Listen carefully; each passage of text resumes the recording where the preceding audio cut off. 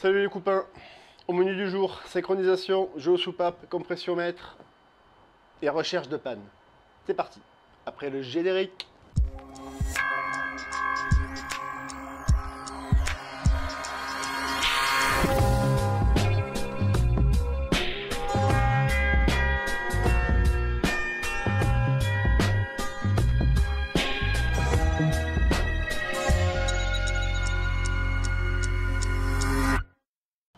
Qu'est-ce qu'on a de beau? Un ZR7. Je te mets dans le contexte. Le client s'en va avec, il roule, euh, il s'en va de chez lui, il part pas d'ici. hein. Il roule un peu, la moto elle, tourne pas forcément super bien, le moteur finit par caler, il s'arrête, il descend sous la bécane, une belle flaque d'huile. Il me ramène ça, donc le moteur ne tourne, ne démarre plus. Il tourne mais il ne démarre plus. Et euh, effectivement, il y a de l'huile qui a dégouliné de la boîte à air. La boîte à air là-dessus est reliée au carter moteur par euh, le reniflard d'huile. Donc, euh, première conclusion, il y a de l'huile euh, qui a dégueulé dans la boîte à air. Ça a dégueulé de la boîte à air au sol. Ok, très bien. On contrôle le niveau d'huile. Trop d'huile. Bon, on fait une vidange pour vérifier combien il y a d'huile.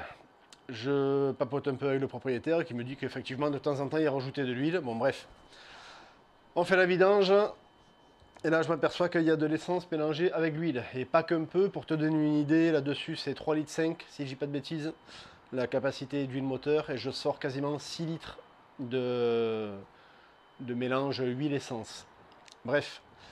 Il s'avère qu'en fait, c'est sa rame de carbu qui fuit les pointeaux du enfin, le- les pointeaux des carburateurs qui ne font plus leur travail, l'essence euh, coule en permanence. Tu rajoutes à ça le fait que le gars euh, tournait avec le robinet d'essence sur la position euh. C'est une position qui permet en fait de laisser couler l'essence du réservoir jusqu'au carbu sans passer par le système de robinet à dépression, c'est-à-dire l'essence coule en permanence. Bref, donc euh, ben, dès que la moto était stationnée à l'arrêt, de l'essence se mettait à dégueuler dans la boîte à air et dans le bloc cylindre. Dans la boîte à air, à la rigueur, le problème euh, est assez vite euh, réglé puisque l'essence euh, ben, passe dans la boîte à air, circule par le reniflard et tombe par gravité dans les carters moteurs. Ça lui remplit le carter moteur de- d'essence. Et c'est comme ça que ça finit par dégueuler dès que, le, dès moteur se met à démarrer. Le principal problème était qu'il avait aussi de l'essence dans les cylindres. Pour ça, j'ai enlevé les quatre bougies. Tu mets un coup de démarreur. Et tu voyais effectivement, ça faisait geyser par les puits de bougies, de l'essence qui dégueulait de partout. Bref, en soi, rien de très grave. J'ai tombé la rampe de carbu, on a remplacé les pointeaux, contrôlé quel carburateur fuyait. Donc remplacé le- les quatre pointeaux. Au final, euh, si tu veux le savoir, c'était le carbu 1 et le carbu euh, 3 qui dégueulaient.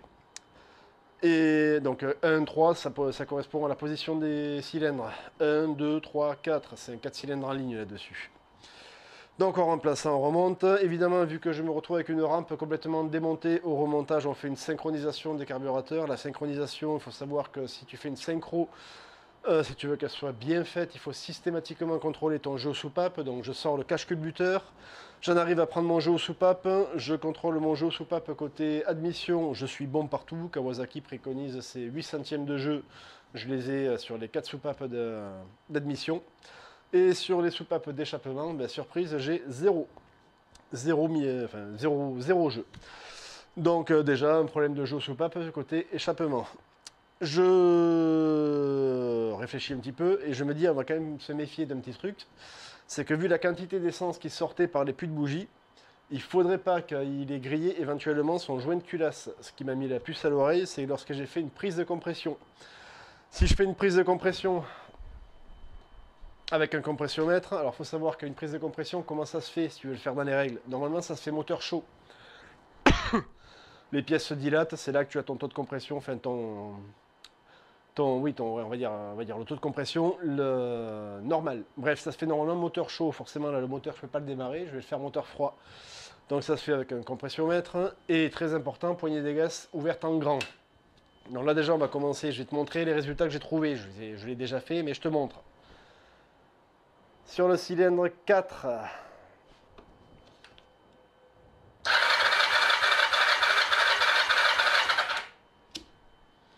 Cylindre 4, j'ai 11 kg au centimètre carré. Tu le verras peut-être pas. Ok. Donc tout ça en ayant un jeu 0 euh, sur mes soupapes d'échappement. hein. Sur le cylindre 3.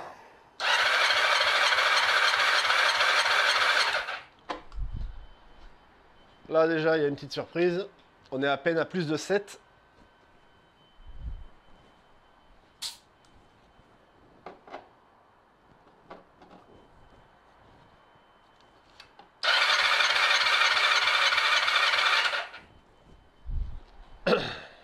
Sur le cylindre 2, pareil, à 7.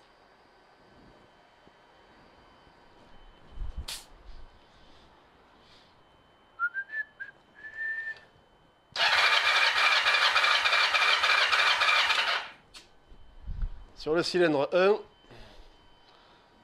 on est à 13. En sachant que Kawa préconise sur ce, sur ce moteur-là, entre 7 et 12 le... euh, J'ai perdu mon... Ouais, c'est ça, pardon. Entre 7 et 12 kg au centimètre carré. C'est normalement les valeurs qu'on devrait avoir. Là, tu vois, on va dire, on pourrait à la rigueur se contenter de ça, se dire, bon, ok, déjà, c'est bon. J'ai bel et bien ben, 11. Euh, je les ai notés là-bas, je me rappelle plus déjà. Ah, c'est ça. 11, 7, 8 et euh, 12 là-bas. On pourrait dire on est bon, on est dans les normes de Kawa. Sauf que la petite astuce, c'est ce que je voulais te montrer. Sur un 4 cylindres en ligne comme ça, quand tu as deux cylindres côte à côte qui manquent un taux, qui, qui ont un taux de compression, un rapport de compression trop, faible, il faut savoir que ça peut aussi éventuellement être le joint de culasse. En fait, tu peux avoir ton joint de culasse qui flambe et tu as la pression d'un cylindre qui passe dans l'autre. Le truc, c'est que on va pas ouvrir, c'était pas prévu en fait. Donc je vais pas commencer à déculasser si c'est pas nécessaire. En sachant que j'ai un jeu zéro sur mes soupapes. Ce que je fais pour être sûr, pour valider le diagnostic avant de commencer à déculasser, en fait c'est pas compliqué. On va libérer tout simplement. On va libérer un petit peu l'arbre à cam. Donc en quoi ça consiste? Je vais juste desserrer les quatre paliers de l'arbre à cam de 1 mm à peu près.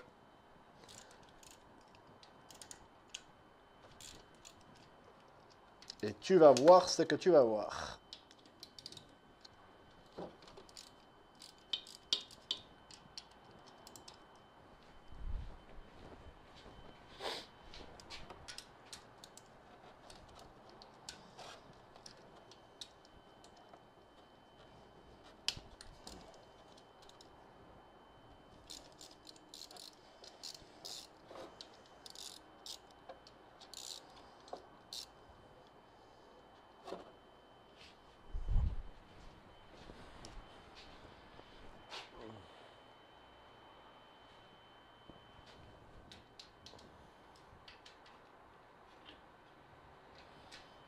Voilà.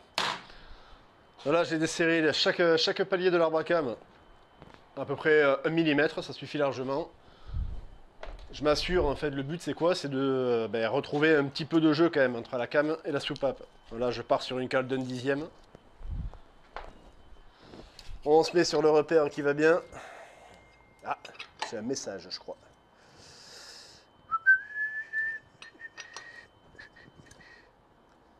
Là, on a un repère en fait. Du côté de la. Merde, du côté de l'allumeur, on va avoir un repère pour le cylindre 1 et 4, un autre pour le 2 et 3. Voilà, sur l'échappement du 4, tu vois, j'ai du jeu, c'est une cale de disque, j'ai un dixième. On va faire pareil pour les autres. Voilà, tac. Sur le 3, j'ai mon jeu à nouveau.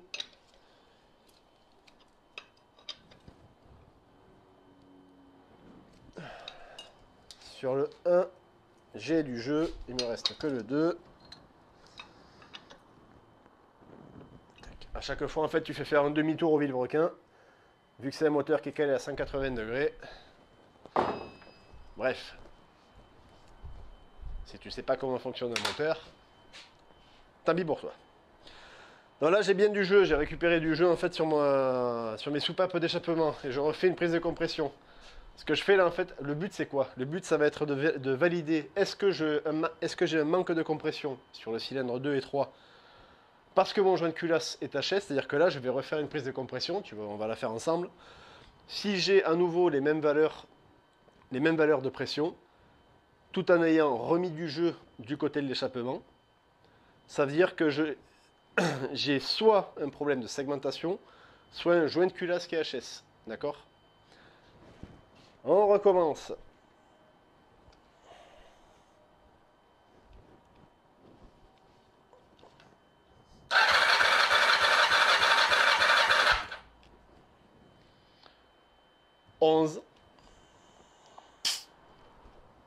Sur le cylindre 3, tout à l'heure, on avait... Combien on avait sur le cylindre 3 Tout à l'heure, on avait 8. On va voir combien on a.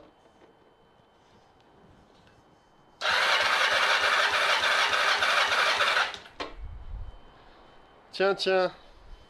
À combien on passe? On est à 12. Eh, c'est une mamie, hein. elle a 74 000 bornes, elle comprime encore bien. Sur le cylindre 2.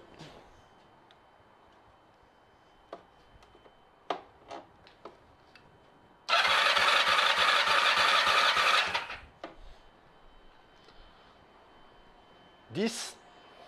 Tout à l'heure, on avait... Combien on avait? On avait 7 sur celui-là. Et sur le cylindre 1,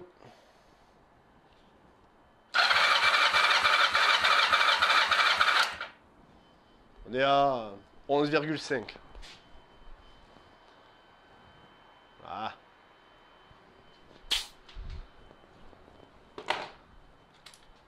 Donc là, qu'est-ce que je viens de faire en fait? Je viens tout simplement de valider mon diag. C'est uniquement un problème de jeu soupape qu'il y a dessus. C'est-à-dire que là, il va falloir que je tombe. Ben, on est bon pour tomber la distribution. Je vais essayer de le faire en sortant juste que l'arbacam côté échappement, ça doit être faisable. je sais que c'est faisable, mais on va voir si au niveau de la place dessous que j'ai pour décaler mon arbacam sans avoir à tout tomber, on verra bien.